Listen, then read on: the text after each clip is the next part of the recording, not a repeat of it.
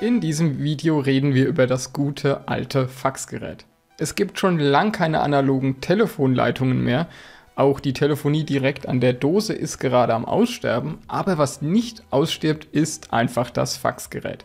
Das liegt daran, dass viele Sendeberichte noch von Gerichten anerkannt werden und Faxen mittlerweile einfach kostenlos ist über eine Festnetzflatrate. Zudem gibt es viele Online-Anbieter und Faxen ist auch in die Fritzbox integriert. Es ist heutzutage sehr einfach geworden, Faxe zu verschicken und einen Sendebericht zu bekommen. Das kostet wenig, geht relativ unkompliziert und ist damit bis heute immer noch ein Konkurrent zu Postdienstleistungen wie zum Beispiel dem Einschreiben oder der Postzustellungsurkunde. Wir schauen uns in diesem Video die Technik an, die hinter dem Fax steckt. Und wir schauen uns auch an, wie wir heute noch faxen können, obwohl es die Leitungen, die das überhaupt können, eigentlich gar nicht mehr gibt. Los geht's nach dem Intro.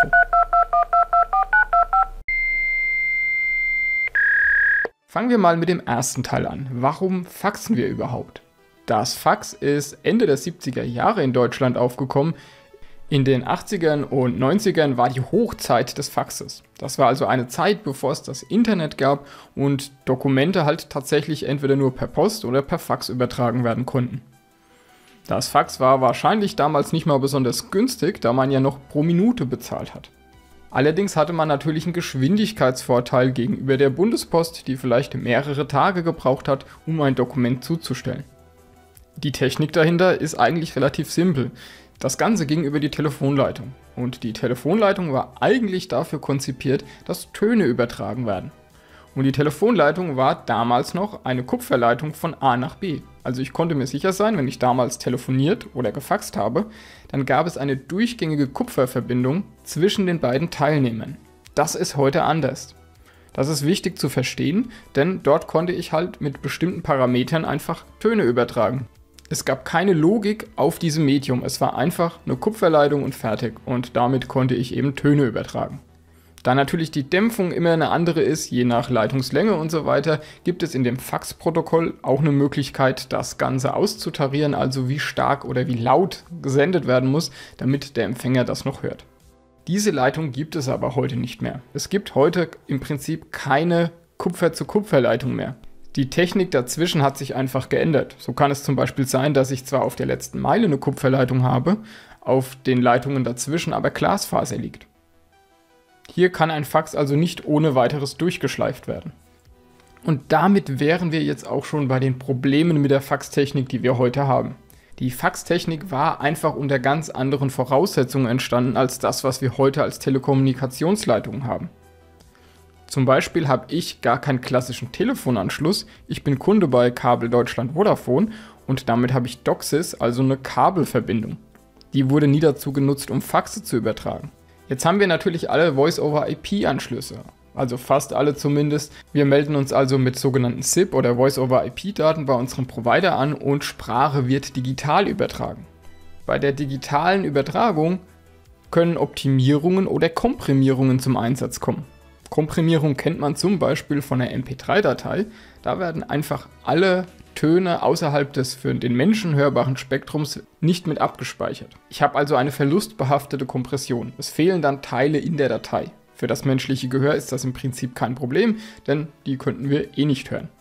Beim Fax sieht das ein bisschen anders aus. Wenn hier Sachen fehlen bei der Übertragung, kommt das Fax nicht richtig an.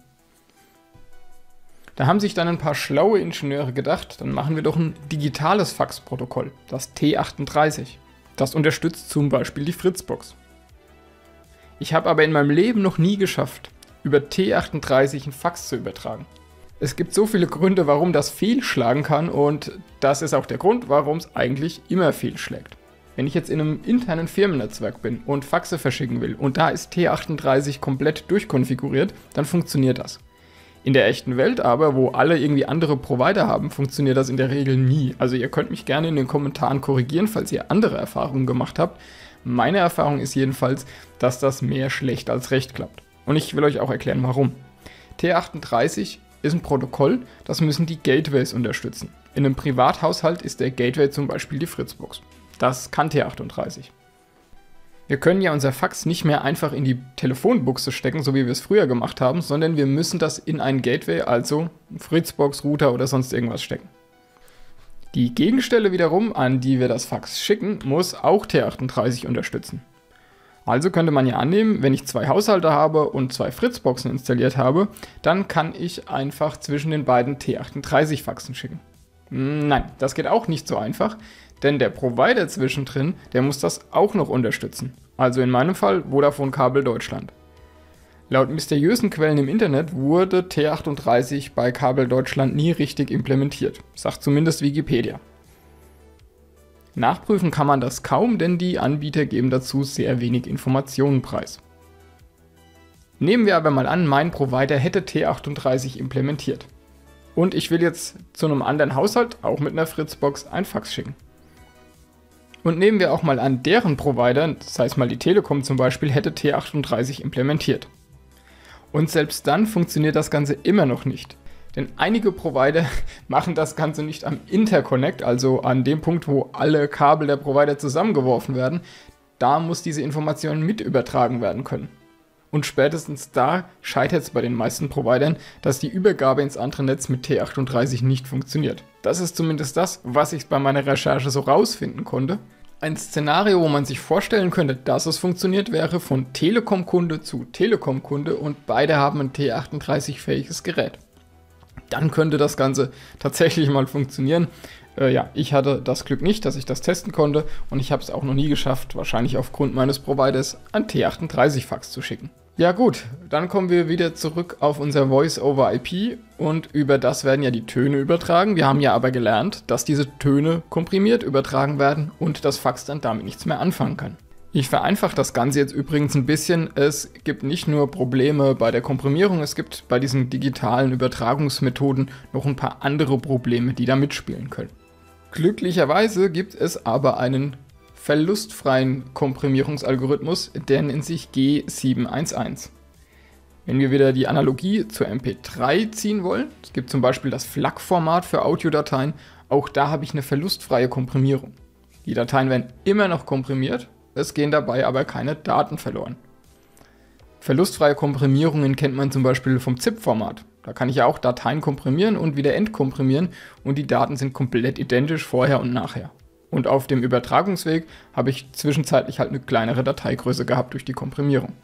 Meine Erfahrung ist auch, dass man über diesen Codec trotz aller Widrigkeiten sehr gut Faxe übertragen kann. Es gehen keine Daten verloren und die Latenzen und Zuverlässigkeit der Leitungen in Deutschland ist so gut, dass ein Fax darüber versendet werden kann. T38 spielt also in unserer Betrachtung eigentlich keine Rolle mehr. Was haben wir aber noch für Probleme, wenn wir einen Fax betreiben wollen? Ich habe mir hier noch aufgeschrieben die komplizierte Konfiguration. Das trifft nur zum Teil zu. Also wenn man mal ins Handbuch von einem Drucker oder so einem Multifunktionsgerät schaut, wie man Fax konfiguriert, fällt man fast vom Stuhl. Gibt auch ein schönes Video von HP dazu. Auch äh, da steige ich nach ein paar Sekunden aus, was die da genau treiben. Es gibt auch noch so tolle Anleitungen mit DSL-Splitter und sowas installieren. Das ist aber heute alles gar nicht mehr notwendig. Bei meinem Kenngerät zum Beispiel muss ich das wirklich nur an die Fritzbox anstecken und an der Fritzbox einmal einrichten. Und die Fritzbox hat das sehr komfortabel gemacht und es hat direkt funktioniert. Ich musste am Fax selber gar nichts einrichten. Ein großer Nachteil, wie ich finde, ist noch, dass man ein physisches Gerät braucht beim Faxen. Nämlich so ein Gerät wie ich hier habe. Also wenn man Faxe empfangen will, muss das im Zweifel vielleicht 24-7 durchlaufen und verbraucht in der Zeit natürlich unnötig Strom für ein Fax, das ich vielleicht einmal die Woche empfange. Für all diese Probleme, die ich gerade beschrieben habe, gibt es aber exzellente Lösungen, die alle diese Probleme adressieren können. Das wäre jetzt der dritte Teil, die Lösungsansätze für die Probleme, die man heute so mit Faxen hat. Kommen wir mal zum ersten Lösungsansatz hier. Ich habe ein Multifunktionsgerät und das hat ein integriertes Faxmodem. Das finde ich super nostalgisch, man hört noch die alten Wähltöne echt klasse.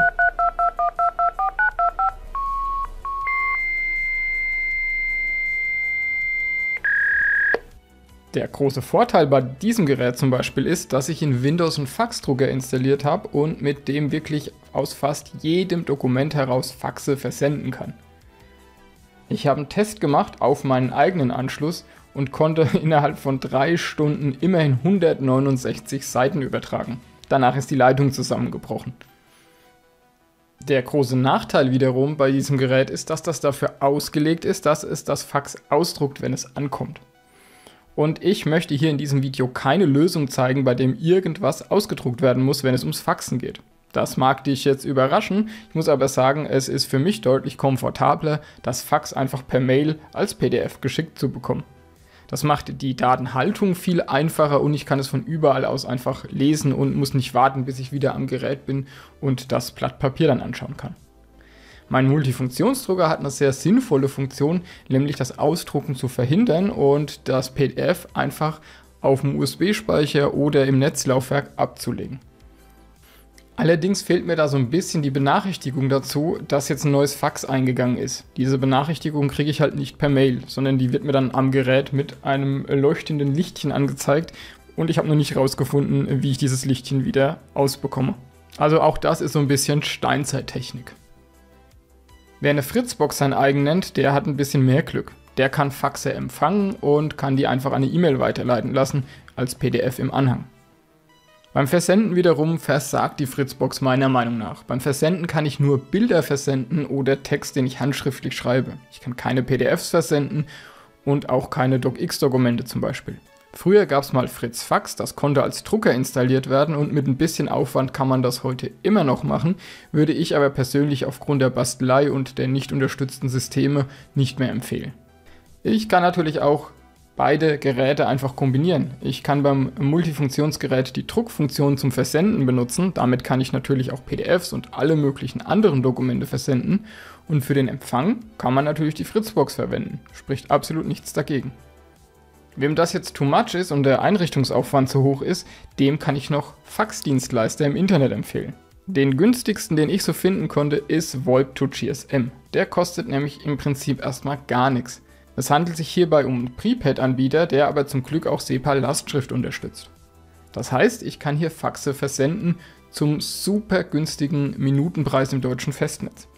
Die Faxe kann ich verschicken, indem ich zum Beispiel das PDF an eine Mail anhänge. Das heißt, ich muss mich bei diesem Anbieter für den Versand nicht mal direkt anmelden, kann das wirklich per Mail machen. Ich kann mich aber auch einfach einloggen im Webinterface des Anbieters und kann PDF-Dateien hochladen. Oder ich kann auch einen Text schreiben, ähnlich wie auf der Fritzbox, halt nur mit der Option, auch größere Dokumente verschicken zu können. Ja, aber wie sieht es jetzt denn hier mit dem Faxempfang aus? Ja, und da ist die gute Nachricht, da kann ich mir einfach für kleines Geld, nämlich für 20 Cent im Monat, eine Rufnummer kaufen. Die kostet mich in zwei Jahren nicht mal 5 Euro. Und diese Rufnummer ist 24 Stunden und 7 Tage die Woche auf Empfang. Das heißt, sollte hier mal ein Fax eingehen, bekomme ich das einfach als Mail geschickt. Und wer sich jetzt Gedanken über diese 20 Cent im Monat macht, dem will ich mal folgendes mitgeben. Zum einen beim nächsten Druckerkauf, oder vielleicht steht er ja gerade an, muss ich nicht darauf achten, dass der Drucker ein integriertes Faxgerät hat. Ich kann also auf ein anderes Modell ausweichen, das eventuell günstiger ist.